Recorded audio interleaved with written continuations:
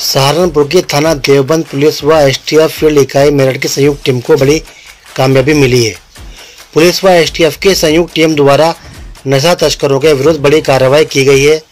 Team ने तीन सातिर नशा तस्करों को गिरफ़्तार किया है, जिनके कब्जे से दो किलो बाईस ग्राम स्मेक जिसकी कीमत लगभग पचास लाख रुपए, एक कैंटर अशोक लीलैंड, इकतीस सौ पचास रुपये नकद व तीन मोबाइल फ़ोन बरामद किए।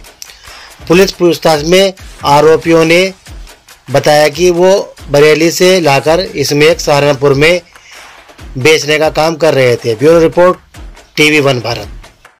देखिए कल रात एसटीएफ यूनिट मेरठ और सहारनपुर पुलिस ने संयुक्त रूप से ऑपरेशन करते हुए तीन लोगों को भारी मात्रा में मादक पदार्थ के साथ गिरफ़्तार किया है।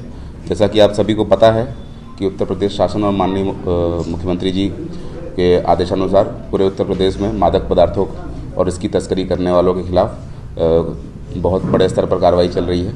और इसी कार्रवाई के क्रम में कल तीन व्यक्तियों व्यक्तियों के पास से लगभग दो किलो बाईस ग्राम स्मैक बरामद हुई है, जिसकी मार्केट वैल्यू लगभग पचास लाख के आसपास है।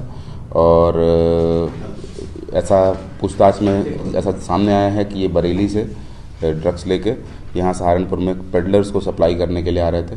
इस इस मामले में अभियोग पंजीकृत करके N D P S act की सुसंगत धाराओं में इनको कारागार भेजा जा रहा है। है हैं कोई? इसमें से एक व्यक्ति जो है जो चिलकाने का रहने वाला है वो पेडलर है। इसमें और लोगों का नाम सामने आ रहा है भविष्य में उनकी भी गिरफ्तारी की जाएगी।